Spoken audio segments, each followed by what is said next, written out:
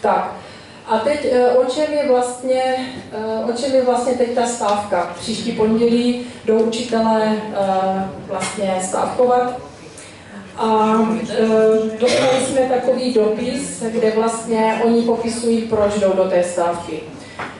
Je to vlastně ta stávka kvůli tomu, že se plánuje snížení platu nepedagogických pracovníků, jako jsou školníci, uklízečky, kuchařky.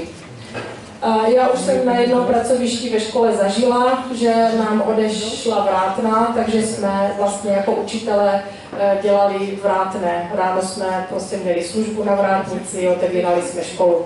Takže je docela možné, že e, vlastně učitelé vyfasují kýble, hadry a budou po vyučování co si zvládnou sami vyměnit žárovku, tak si sami ve škole ve třídě opravit, co nezvládnou, budou, budou muset uh, volat tatínky jako z, z těch svých uh, dětí. No a uh, pak ještě vlastně uh, chtějí jakoby protestovat proti tomu, že ministerstvo asi už nemá prachy, takže nebude dělení tříd.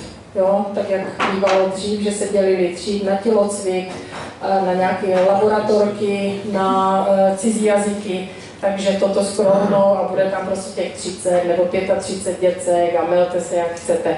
Takže se nám sníží eh, kvalita vzdělávání.